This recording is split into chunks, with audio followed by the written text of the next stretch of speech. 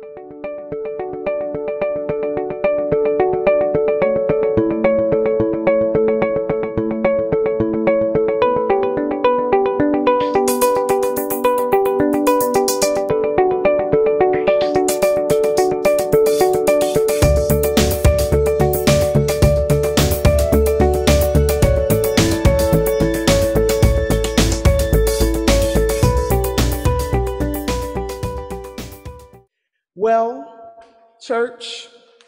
my academic pursuits continued this week. For our visitors, last week I shared with our congregation the wonderful opportunities that I had to sit at the feet of scholars in the prior week, including a lecture titled Decolonial Theology from an Indigenous Perspective by Native American scholar Reverend Randy Woodley, PhD, through Garrett Evangelical Theological Seminary Center for Ecological Regeneration. I say all of those words because I want you to hear them. Followed by the University of Chicago neurobiologist Dr. Peggy Mason, who shared her research on the biological basis for empathy at the faculty roundtable on science and religion held at the Quad Club two Wednesdays ago here on campus. This past Tuesday, I preached and presented to a group of clergy in Indiana at the Wabash College on environmental justice. My lecture titled, How to Love Your Neighbor When Their Neighborhood is Killing Them. And then on Friday, I attended the 27th Bell and Joseph Braun Memorial Symposium at the University of Illinois at Chicago's Law School. The symposium titled environmental justice and human rights in the Americas and the Caribbean. It was during that symposium on environmental justice and human rights that this sermon was inspired. Or shall I say that I was inspired while I attended the symposium? How? Glad you asked. Stay tuned. Today's scripture is a typical scripture for this season because it is about giving thanks. And I want to give you a little meat to chew on with your turkey this Thanksgiving or whatever it is that you eat. You know the story. Jesus is on his way to Jerusalem when he passes through a certain region and comes upon 10 men with leprosy. Leprosy encompassed a variety of visible skin dis- disorders and even included withered limbs, physical disorders for all to see. And because of these disorders, these men were ostracized and they were outcast. Whenever they walked down the street and saw people, they had to announce themselves by saying, unclean, unclean. And the people would stay a distance away or scatter as if they didn't already stay away due to the visible signs of illness. Let's not move quickly through this story. I want you to get a sense for this society in the text. The society that seems to embrace fear mongering, othering, and shaming. I know it sounds a bit like today, but let's stay with the text. The society in the biblical sacred text today is a society that marginalizes those who are different and even those who are not well. And that sacrifices their well being even more by requiring them to announce that they are unclean as they move about the town. What do I mean by sacrificing themselves? Again, I'm glad you asked. This is society, the one in the sacred text, that sacrifices the mental health and overall well being of those with leprosy so others can be protected. Imagine if you had to walk down the street and announce your ailments, those that others thought were contagious, to protect them from you. Imagine if you had to announce your comings and your goings, risk embarrassment and isolation, and therefore your mental and social well being, so that others could avoid you. The society, the one in the text, would sacrifice you for the good of others. You see, I learned about sacrifice zones during the symposium on human rights, where people are harmed by pollution and the exploitation of their land, their health, and their very lives are sacrificed, if you will, for, for the so called greater good of what the polluting company produces. An atrocity that is happening today around the world and even in our city, state, and country.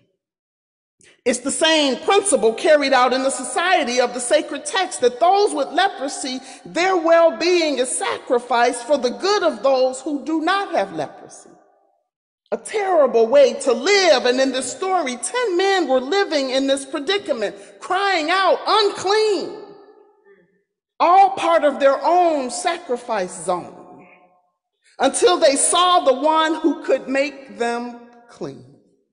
And when they saw Jesus, instead of crying out unclean, they cried out, Jesus, have mercy on us. I love that us. Jesus tells them to go and show themselves to the priest, which is what you customarily did after you were made well or made clean, healed from leprosy. The ten obey Jesus, and as they walk in faith together, they are healed together. And then something happens. The scripture says, and one of them, when he saw that he was healed, he turned back and with a loud voice glorified God and fell down on his face at the feet, giving Jesus thanks. And he was a Samaritan. Out of the 10 with leprosy who were all healed, only one came back and said thank you.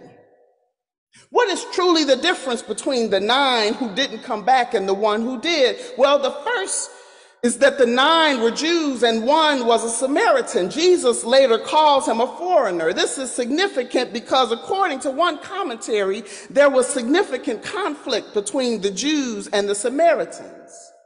Samaritans were considered heretics for they worshiped God differently and, and considered half-breeds because they married non-Jews.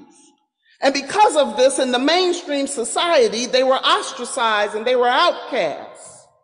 So the one, the one who came back had been a double outcast. Once because he had leprosy and again because he was a Samaritan and he returned to give thanks. Verse 17, Jesus says, were not 10 made clean? So where are the other nine? Did none of them return to give glory to God except this foreigner? Then, then he said to him, get up Go on your way. Your faith has made you well. And I'm sure by this point you think you know where the sermon's going, that my sermon title, Be the One, reveals that I want to teach you to be like the one who came back and gave thanks.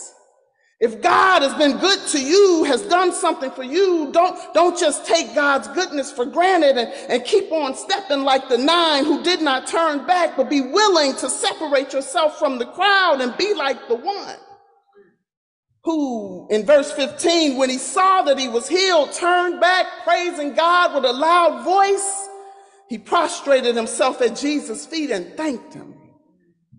I know some of you thought Reverend Veronica's going to tell us to be like the one and come praise God loudly. She, she's been wanting us to speak up. She's going to use the text today to tell us it's now time to, to give God thanks with a loud voice.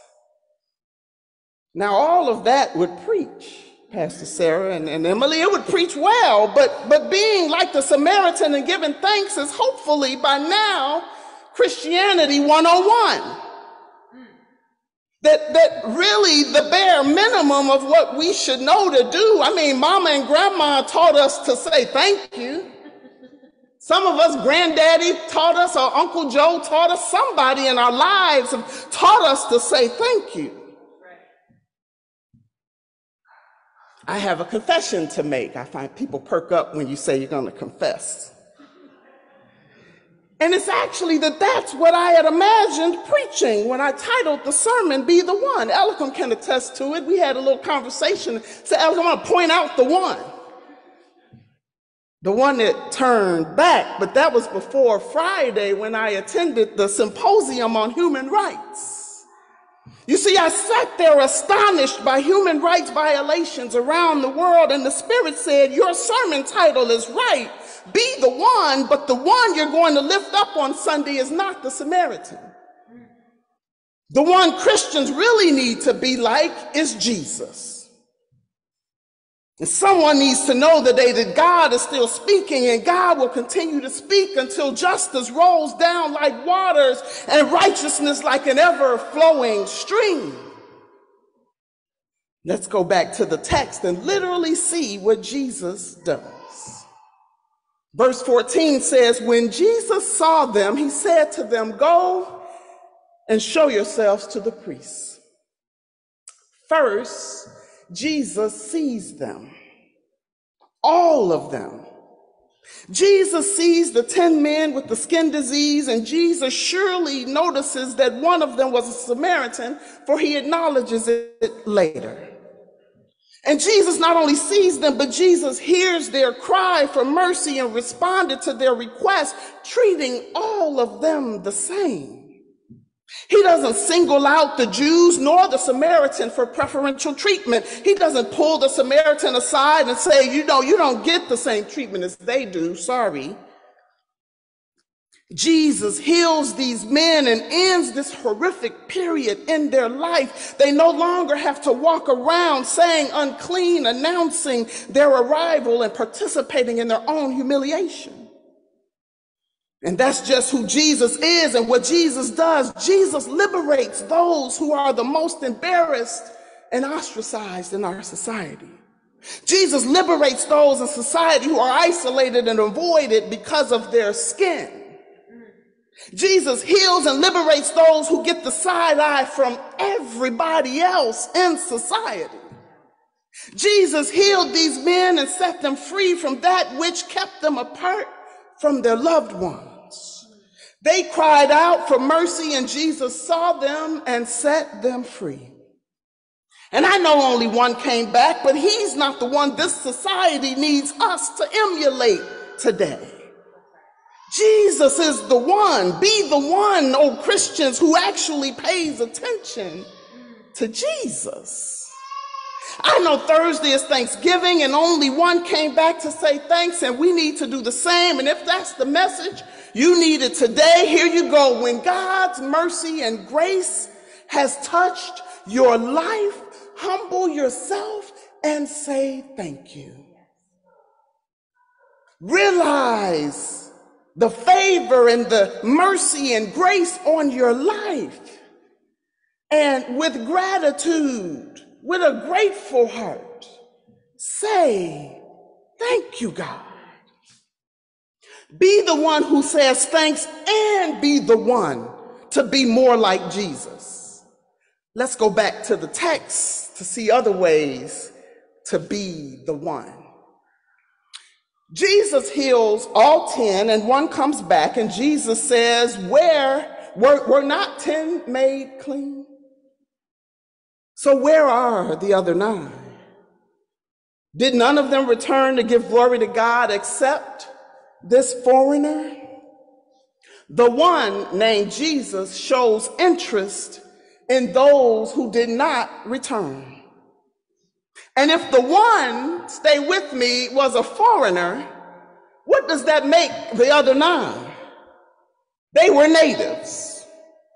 So while Jesus asked, Where are the nine? This Thanksgiving, I hear Jesus saying in my spirit, Where are the natives? You see, Jesus did not let it pass that the nine were nowhere to be found. He asked, Where are they? He acknowledges that the one who came back was a foreigner, but where are the nine? Where are the natives? Let me be very clear. I am not saying that Native Americans need to say thank you for anything. The parallel that I'm drawing, like the nine had been isolated, left out, and harmed, and were no longer seen. It's a human rights conundrum that in the USA, the indigenous people are rarely present, rarely at the table, and most of us know nothing about them, including where they are. And many of us don't care. Jesus noticed the absence of other human beings when he said, Where are the nine? Jesus cared for all who were injured and harmed and sacrificed. And as a follower of Christ, that compels me to say, Where are the native people of this land? How are they doing? What do they need? I know that sounds foreign to you. It sounds foreign for me to say it. But someone has to be the one who thinks outside the box of human rights, acknowledges past and current atrocities, and be the change that they hope to see in the world.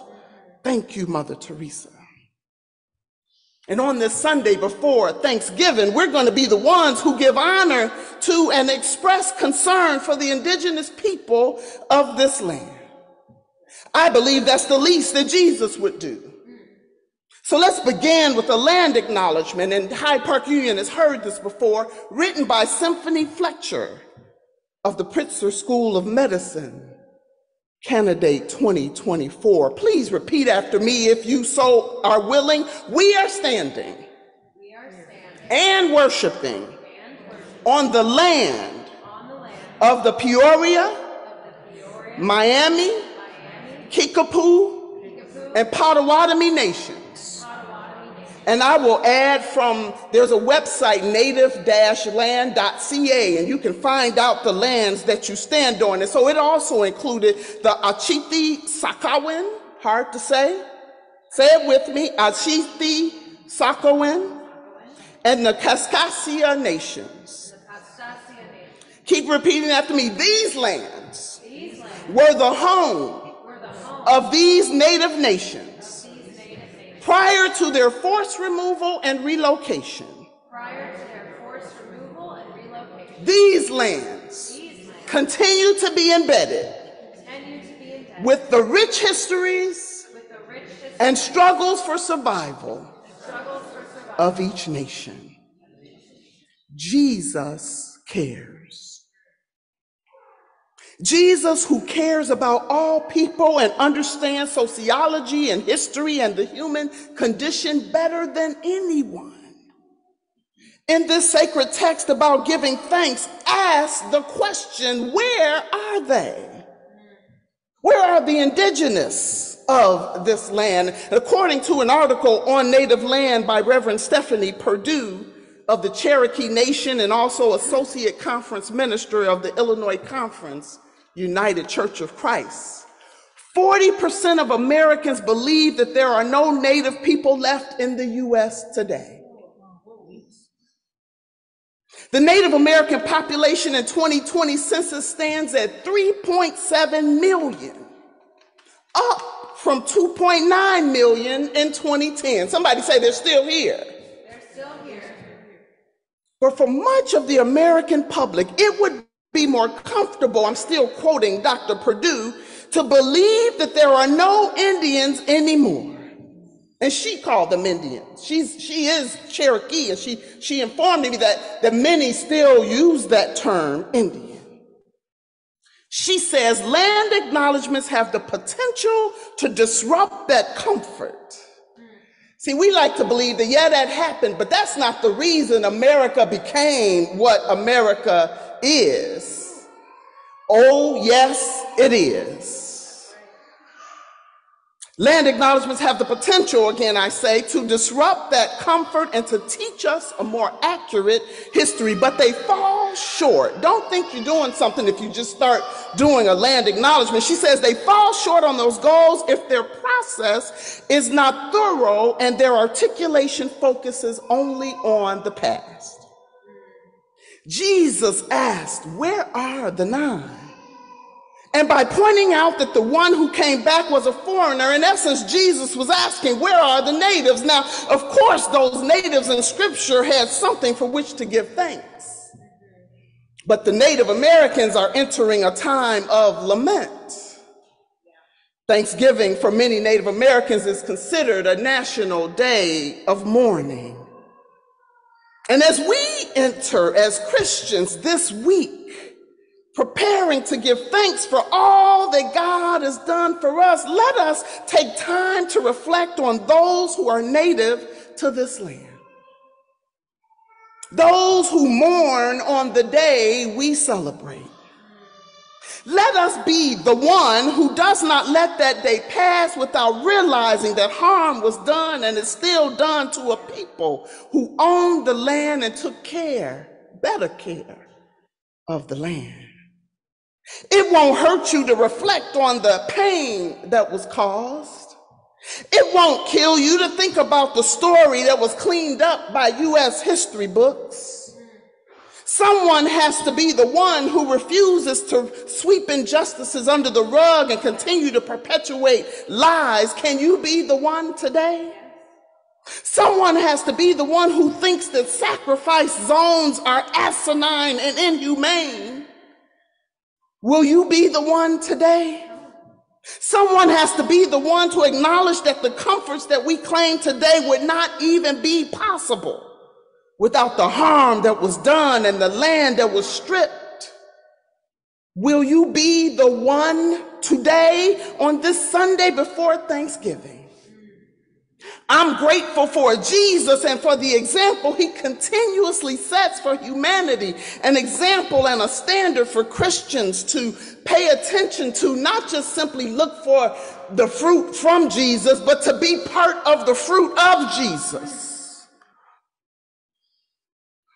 in this country that is so very divided, if we all pay attention to Jesus, see, when you read scripture, you have the opportunity to identify with any character in the text. When, when the woman with the issue of blood touched Jesus' hem by the name, I heard her name is Veronica. Look it up, that's true. At least that's what scholars say. Do I identify with Veronica? Or do I pay attention to Jesus who liberated this woman who was ostracized and left to die? We have that opportunity. Identify with whoever you want, but if you call yourself Christians, do yourself a favor and please also check out Jesus. Someone is asking, why do I need to be the one? John 15, 16, Jesus says, You did not choose me. I chose you. And I appointed you to go and bear fruit. Fruit that will remain. And while I was sitting there listening to the wonderful singers, this this thought that I think Dr. King shared, I wrote it on my bulletin, and it is that the atrocities that are easily perpetuated happen when good people who know better do and say nothing. So, this Thanksgiving, be the one who sees people and their condition and asks questions like Jesus did and gets involved. Be the one who stands for human rights. I know the opportunity will present itself. Be the one who takes up for the one being bullied. And you might just help avoid a catastrophe. Be the one who volunteers to serve in the food pantry. We especially need help during the holidays. Be the one who writes or calls your elected officials and express your concerns about modern day sacrifice zones. Be the one who helps the stranger. Be the one who sees the homeless and asks, why in 2022 have we not figured out this problem? There are a multitude of ways to be the one. Give God thanks and praise that you have the privilege to be the one who can speak up on behalf of somebody else. This Thanksgiving, and I'm going to take my seat as you give thanks to God. Thank God for Jesus. I used to hear the elders say that. I thank God for Jesus, and I didn't understand it, but now I do. Resolve in your heart to be the Christian who actually strives to be more and more like Jesus. Be the one who has concern for humanity, concern for the human condition, and do something about it. Be the one. God bless you.